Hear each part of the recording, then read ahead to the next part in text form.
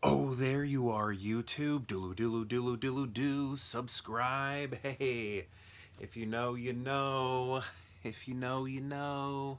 Okay, uh, we're gonna do a random ranking. We're gonna do a random ranking. And uh, basically, what that is, if you've never been here before, and we're just weirded out by that opening. Um, but anyway, uh, basically that's when we go to my movie collection behind me and pick out three movies at random and then rank those movies from most favorite to least favorite based on whatever criteria we come up with. I'll rank them here in the video, but if you'd like to rank them in the comments below, please feel free to do so. Let's get to picking some movies. Wouldn't it be funny if we picked Hook today? Because I'm wearing that appropriate t-shirt. All right let's do, I don't know. See, the problem is I've been getting movies that I've I've picked before a little too often. I don't even know how it's possible with a collection this big, but it's like habits um, that I have, I guess, just happen over and over again. Like like the like the the habits happen over and over again. Like uh, where i'm reaching to pull these films i just must have like these general places that my body wants to um, grab films. I don't know. Cool. See? Look at this. I just grabbed this one like a couple days ago. So we got to get rid of this. And we're gonna do it with with, with this film right here. Ooh, I feel a snapper. Let me make sure I've seen it. Yeah, I've seen it. All right. Ooh, why is this like this? I wonder if it's the temperature down here. Okay, so we got rid of Bend It Like Beckham.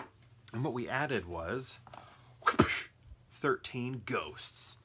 Look at that. Okay, so 13 Ghosts. Let me do a quick little reminder. Uh, yes, this is because 13 Ghosts, and then there was like a Famke Janssen film that came out around the same time.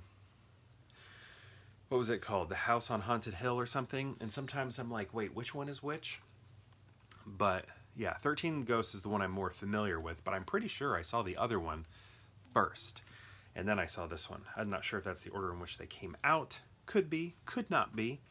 But I just want to see here. Yes, Tony Shalhoub. Um, people like Matthew Lillard and Shannon Elizabeth and uh, F. Murray Abraham. He killed Mozart. Okay, here we go. Uh, 13 Ghosts, already talked about it. So this one, I remember the makeup effects looking really cool. You know, you had uh, the 13 Ghosts, and they're like trapped in these cages or whatever and they I think they were if I'm now it's been a while but I'm pretty sure they were like tortured in different ways and they had like names like the Banshee and and the, the this and the that and the Juggernaut and the Sloth or you know I don't know was it the Seven Deadly Sins I, I can't remember but it was stuff like that and um, man this cover is so lame I think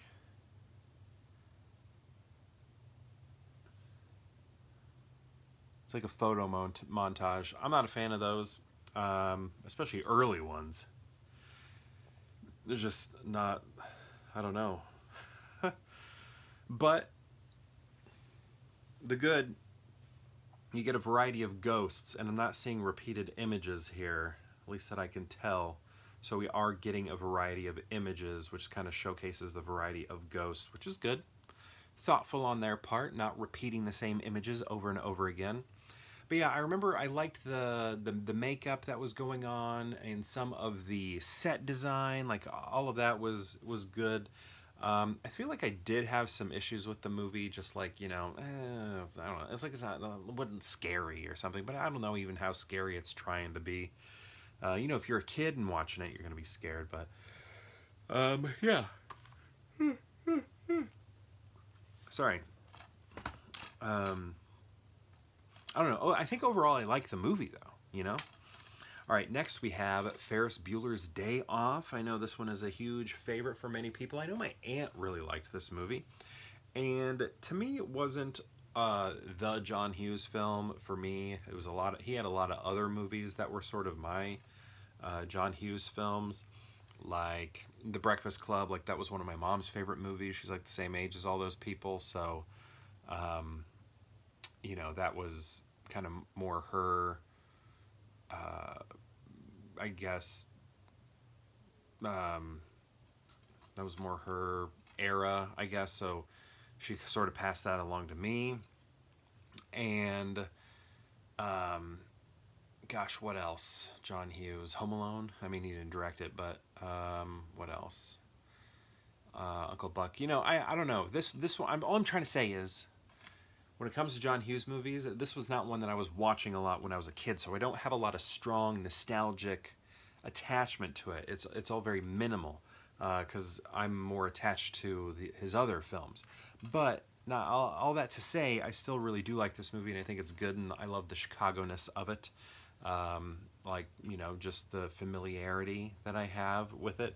Not that I was going to Chicago a lot, but that's kind of the thing uh, being from Illinois, when you when you go to Chicago, it's kind of like a. Um, I mean, if you're if you're downstate Illinois, going to Chicago is kind of an event. So the different things that he's seeing are like things that uh, a, a visitor might do or or go see. So it's kind of cool. He's like a tourist in his own town, sort of thing, um, which is cool. Okay, next we have Rear Window. Good evening. Good evening. Good evening. How does he say that? Anybody else watch Hitchcock Presents on Nick at Nite when you were a kid with your grandparents when you were spending the night at their house over the weekend? Good evening. How does he say it? Good evening. Good, good evening. Good evening. Good evening. I can't do it. Goody, goody. I, am doing a terrible job at it. I feel like I used to nail that when I was a kid. I just need to watch the show a lot. Uh, but yeah, Alfred Hitchcock Presents. It was kind of like maybe like a sort of a Twilight Zone, Outer Limits thing, but more like Hitchcock type little stories. And it was Alfred Hitchcock Presents. Um, well, that was just what it was called, right? I think it was just Alfred Hitchcock Presents, and then it'd have like a little sort of unique little episode on TV.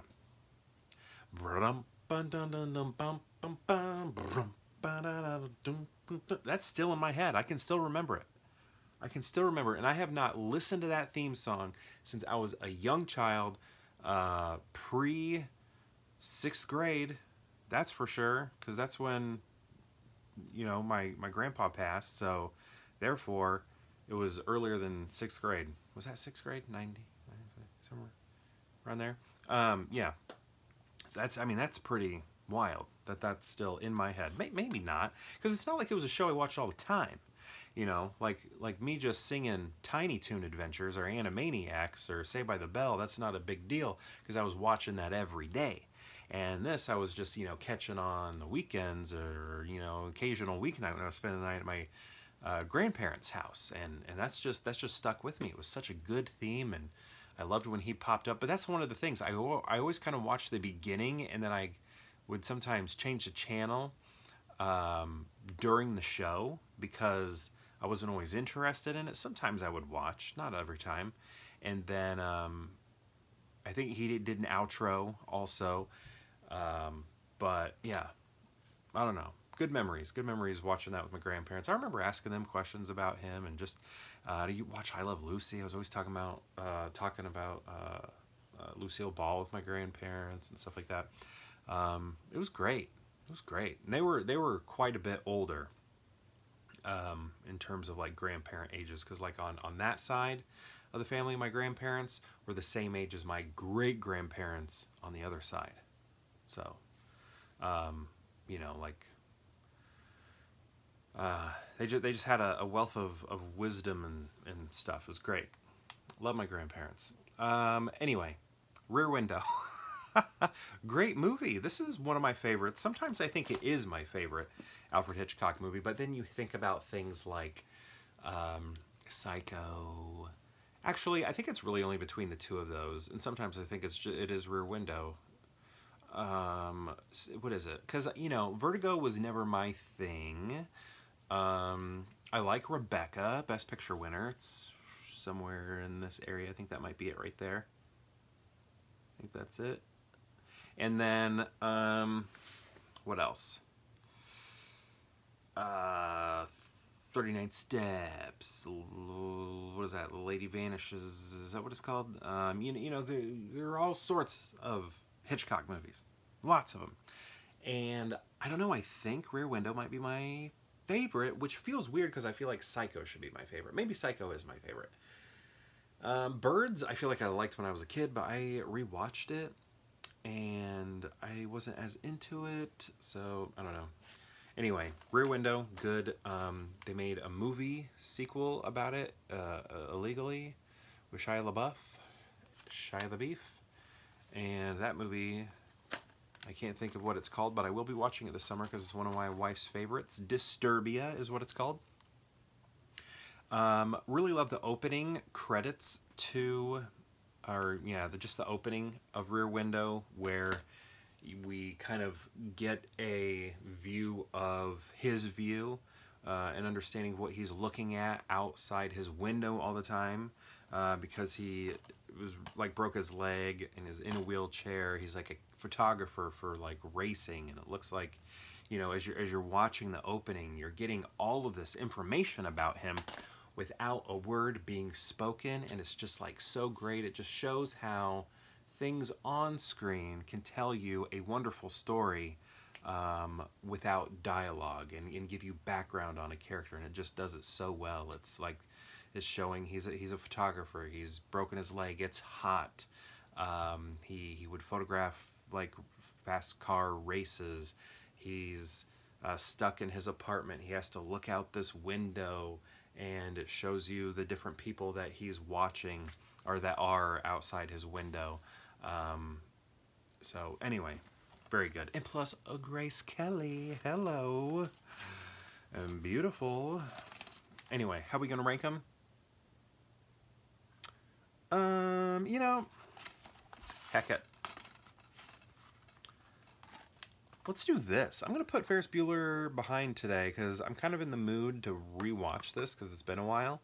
And Rear Window, can't deny, so that's going to be number one. So Ferris Bueller on other days would be uh, second in this ranking, but today I'm going to go ahead and put 13 Ghosts, and a lot of that is because I just kind of want to rewatch it, and I remember liking uh, the the makeup on it and kind of how over the top that was, and um, but yeah, Rear Window because it actually is the best of the three, and then again the reason these are the way they are is just uh, I want to watch a horror movie right now. I'm in that mood.